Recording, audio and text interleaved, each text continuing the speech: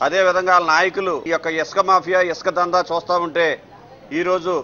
దళితులు కానివ్వండి బలహీన వర్గాలు కానివ్వండి పేద ప్రజలు కానివ్వండి ఎక్కడా కూడా ఒక చిన్న ఇల్లు కూడా ఒక బాత్రూమ్ కూడా నిర్మాణం చేసుకునేటటువంటి పరిస్థితి లేదంటే మరి యొక్క రాష్ట్ర ప్రభుత్వం ఏ రకంగా ప్రజలను ఇబ్బంది పెడుతుంది ఏ రకంగా ప్రభుత్వ ఆదాయాన్ని దోచుకుంటుందో దీన్ని బట్టి అర్థమవుతుందని సందర్భంగా తెలియజేస్తా ఉన్నాం. మరి ఈరోజు చూసుకున్నట్లయితే ఈ యొక్క రాష్ట్ర ప్రభుత్వం అన్ని విషయాల్లోనూ కూడా వైఫల్యం చెందింది. మరి ఈ రోజు ఇసుక దోపిడీ కానివ్వండి అదేవిధంగా నిత్యావసర వస్తువుల ధరల పెరుగుదల విషయంలో కానివ్వండి అదేవిధంగా మరి ఈ యొక్క సంక్షేమ కార్యక్రమాలు చేయటంలో కూడా ఈ యొక్క రాష్ట్ర ప్రభుత్వం పూర్తిగా వైఫల్యం చెందింది. మరి ఈరోజు చూసుకున్నట్లయితే ఈ యొక్క రాష్ట్ర ప్రభుత్వం చేసినటువంటి తప్పుల్ని ఈ యొక్క మంత్రులు కానివ్వండి శాసనసభ్యులు కానివ్వండి అదేవిధంగా ఈ యొక్క శాసన సభ ద్వారా శాసన మండలి ద్వారా సమర్థించుకునేటటువంటి ప్రయత్నాలు చేస్తున్నాయి తప్ప మనం తప్పు ఎక్కడ జరుగుతుంది? ఏ రకంగా ఈ యొక్క తప్పుని సరిచేయాలనేటటువంటి ఆలోచన ఈ యొక్క రాష్ట్ర ప్రభుత్వానికి లేదనుకోవడం మరి చాలా విచారకరమని ఈ సందర్భంగా తెలియజేస్తా ఉన్నాం. ఈ యొక్క పదమూడు జిల్లాల్లోనూ కూడా అనేక రకాలుగా ఈ రోజు అనే- పే- పేద ప్రజలందరూ కూడా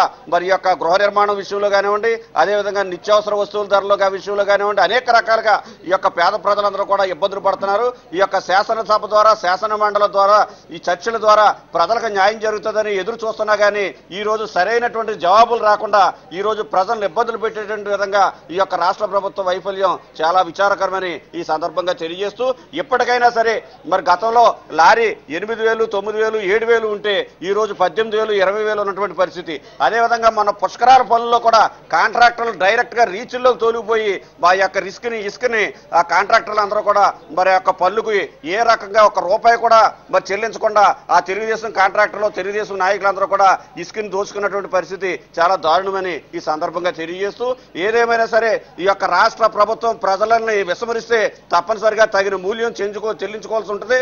మాకు అధికారం ఇచ్చారనేటువంటి విధంగా మరి అధికార దాహంతో అధికార మదంతో ఈ యొక్క రాష్ట్ర ప్రజలను విస్మరిస్తే తప్పనిసరిగా ప్రజలందరూ కూడా మరి ఈ రోజు విస్మరించేటటువంటి పరిస్థితి వస్తుందని గుణపాఠం చెప్పేటటువంటి పరిస్థితి వస్తుందని ఈ సభ ద్వారా తెలియజేస్తా ఉన్నాం.